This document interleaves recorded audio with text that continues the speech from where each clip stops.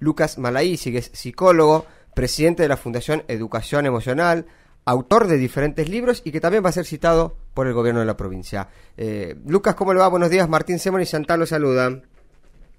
Hola, eh, buenos días chicos, muy bien, muchas gracias por el llamado. Bueno, vamos por parte, Lucas, si le parece, empecemos explicando qué es la educación emocional, qué se entiende por eso.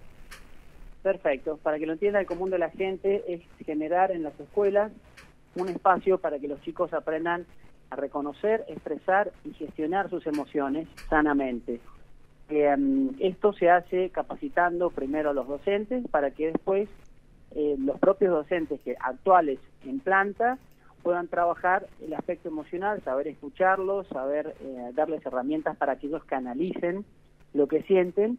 ¿Y qué pasa con esto? Logramos que al desarrollar estas habilidades emocionales desde niños, prevenir toda una serie de problemáticas como son el bullying, consumo de drogas, suicidios, eh, violencia, promiscuidad y otras conductas sintomáticas que tienen por común denominador una mala gestión de las emociones. Entonces, lo que hacemos es eh, desarrollar estas habilidades desde niños para que cuando la vida los ponga a prueba tenga estos recursos. Bien. Eh, justamente esto que decía del bullying, que me parece que es un tema importante y que hay que tratarlo y, recordarlo siempre, eh, se puede a partir de aprender, si se quiere, a desarrollar la inteligencia emocional evitar este tipo de problemas que se dan mayoritariamente en el aula, pero que no es exclusivo justamente de la escuela? Claro, absolutamente. Lo bueno de la educación emocional y de desarrollar la inteligencia emocional eh, es que no solo previene el, bullying, hay que entender que el bullying es eh, se da por, entre otras, porque es complejo, tiene muchas variables, pero fundamentalmente por una baja autoestima de quien eh, hace es el hostigador selecciona a una víctima que tampoco tiene habilidades para poner límites, para expresar lo que siente. Entonces, en, en, una clase de educación emocional, al enseñarle a gestionar las emociones, por ejemplo, a cómo gestionar el miedo, a, cómo poner límites, entre otros aspectos, se previene el bullying eh, y que claramente afecta a personas que tienen bajo coeficiente emocional o a personas con un analfabetismo emocional, es decir, que no pueden gestionar sus emociones. Pero lo bueno de esta estrategia es que no solo, insisto, no solo previene el bullying, que quizás hoy es el caso más visible, lamentablemente, por todos los casos que estamos viendo, pero no, no solo a nivel país, sino mundial, eh, pero también hay otros casos que se están cobrando muchas vidas, que son, eh, eh, ya te digo, el consumo de, drogas, violencia, violencia de género, suicidios, depresiones en niños que se empiezan a, a ver cada vez más frecuentes. Entonces lo que hacemos es trabajar con los chicos sanos para mantenerlos sanos. Esta es una estrategia educativa que sabemos funciona muy bien, es baja en complejidad, los docentes la incorporan rápidamente, eh, ya lo, venimos haciendo, ya hay otras provincias que han aprobado esta ley y están trabajando en esta línea de acción. Eh, y, por lo, y todas las investigaciones dan cuenta de los excelentes resultados que da esto. Insisto, no solo mejorando estas conductas sintomáticas, disminuyéndolas, sino eh, también mejorando el rendimiento académico y eh, la calidad de vida de los chicos, la posibilidad de socializar, etcétera, etcétera. Claro. Ahora, Lucas, la idea es que se agregue como una materia más dentro de la currícula o que todos los docentes lo puedan abordar en determinados espacios. Muy bueno, Martín. Mm. Esa, eh, son dos modalidades que son viables por ejemplo, la educación sexual integral se hace en forma, o debiera hacerse, bueno, no se está haciendo mucho, mm. pero eh, debiera hacerse de forma transversal. ¿Qué significa? Que los docentes que ya están, lengua, matemática, historia, todos los docentes lo trabajan, lo incluyen en sus actividades. Eh, la educación emocional es igual en ese sentido, pero yo soy uno de los pocos eh, autores defensores del espacio curricular. Es decir, yo considero que además de hacerse en forma transversal con los docentes actuales, sí creo que hay muchas técnicas y aspectos que merecen que los chicos tengan dos veces a la semana, dos, al menos dos horas de educación emocional, donde puedan eh, expresar lo que sienten, donde puedan darle tiempo al conocimiento de cada emoción, cómo se expresa asertivamente, cómo la sienten ellos, para poder dialogar de los aspectos difíciles, de las conflictivas, de todo lo que están viviendo. Por supuesto, imagínate que para lograr esto hace falta formar a los docentes, tienen que ser educadores emocionales, así como está el profe de matemática, de lengua, que esté la docente de educación emocional en las escuelas. Esto, por supuesto, lleva un cronograma de despliegue, pero ya lo estamos haciendo, los estamos formando de la Fundación, tenemos eh, asociación con universidades y estamos diplomando a un montón de personas, ya van casi 10.000 personas que se han diplomado en educación emocional, que están en condiciones de poder hacer estas planificaciones, que es, eh, al igual que se enseña historia, matemática, eh, trabajar el aspecto emocional en las escuelas. Lucas, eh, ¿cómo te va? Entiendo que, mm, a ver, arrancar en las infancias, ¿no? A niveles eh, iniciales es más fácil, justamente, o será más fácil de, de, aplicar.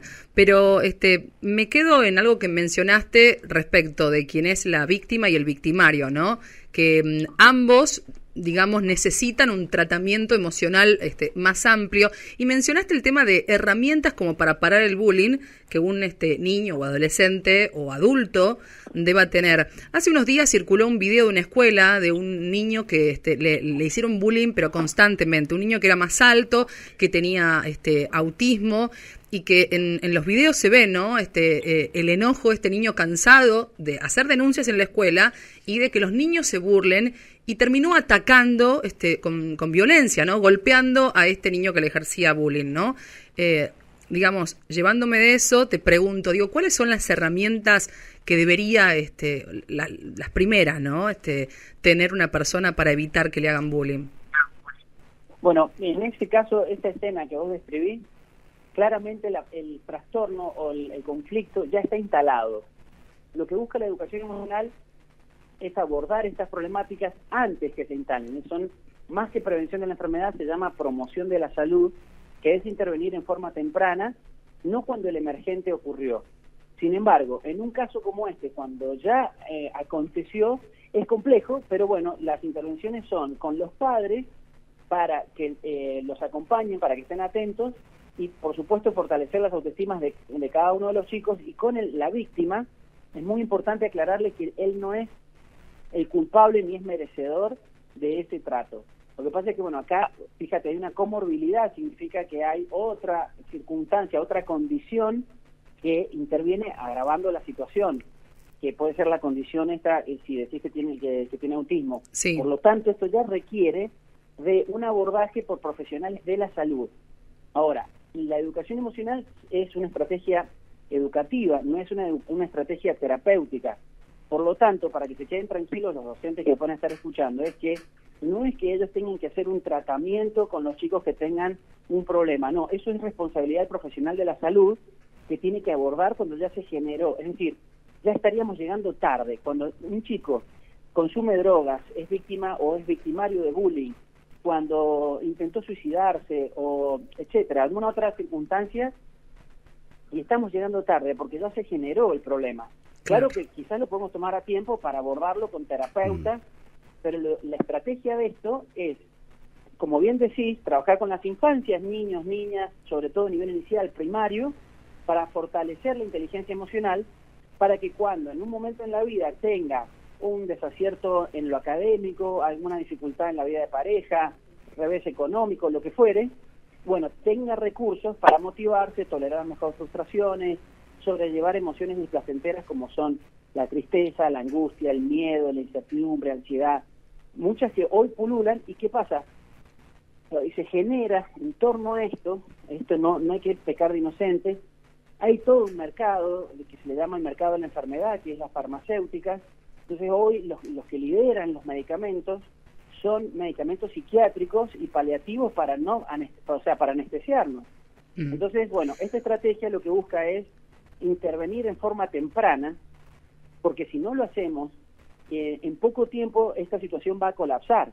Hoy los centros de rehabilitación por drogas, los hospitales están colapsados de chicos con, con problemáticas, son tratamientos costosos. Entonces, una intervención inteligente del gobierno es capacitar a los docentes para, con tareas muy simples, porque los chicos no tienen todavía la problemática, fortalecer la inteligencia emocional.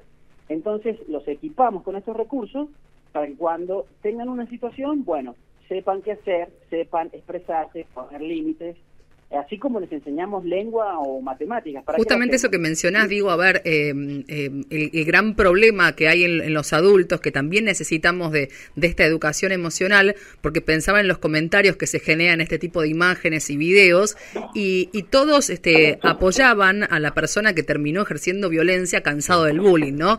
Que, tampoco está bien. Entonces digo, entre todos tenemos que hacer algunos cambios y sin lugar a dudas este, los docentes para ir inculcando desde las primeras infancias. Absolutamente, absolutamente, porque fíjate, la violencia nunca, nunca, para que lo tengan claro toda la gente, nunca es una solución ni una posibilidad porque es como tratar de apagar el fuego con nafta. Es peor y sí son lamentablemente muy frecuentes reacciones de los chicos que llegan a un estado de hartazgo en el que incluso conozco casos de Argentina, de los Estados Unidos son los más famosos, pero casos de Argentina que han cometido homicidios. Es decir, dicen, no me molestes más porque te voy a matar y después terminan haciéndolo. O eh, lesiones graves.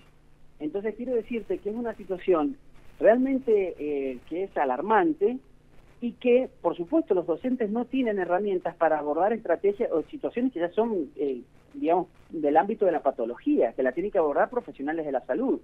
Entonces, esta estrategia es llegar en forma temprana con eh, muchas técnicas que son lúdicas en su mayoría, son estrategias muy simples, aspectos que los docentes lo, lo hacen pero sin conocer cómo deben hacerlo. Entonces la idea es formarlos, darles herramientas para que ellos sepan qué tienen que hacer, cómo hacerlo, poder planificarlo, sistematizarlo en el tiempo, adaptado para niños en la primera infancia, durante la primaria, también para el secundario, también está pensado para nivel universitario para aquellos estudiantes que tienen fobia a la situación de examen, depresiones, crisis existenciales, es decir, educación emocional para todos los niveles. Y también la ley contempla no solo el abordaje con los estudiantes, sino escuela para padres y educación emocional del propio docente, porque hay que entender que ser docente en nuestros días es muy desafiante, mm. ya no es tan simple como antes, hay muchas más, hay una complejidad creciente ni te digo lo que pasó con la pandemia, por ejemplo, donde todos sabemos lo difícil que fue. Entonces, es fundamental abordar el aspecto de la propia educación emocional del educador para que pueda gestionar sus emociones y también acompañar a los estudiantes o a los padres en el caso de que se haga escuela para padres como contempla originalmente la ley de educación emocional. Bien. Lucas, eh, muy amable por su tiempo, muchas gracias por esta charla tan interesante. Chicos, por favor, muchísimas gracias a ustedes por eh, colaborar con, difundir esta estrategia que es tan importante. Bien, que tenga un buen día. Igualmente. Hablábamos con el psicólogo Lucas Malaisi, eh, presidente de la Fundación Educación Emocional.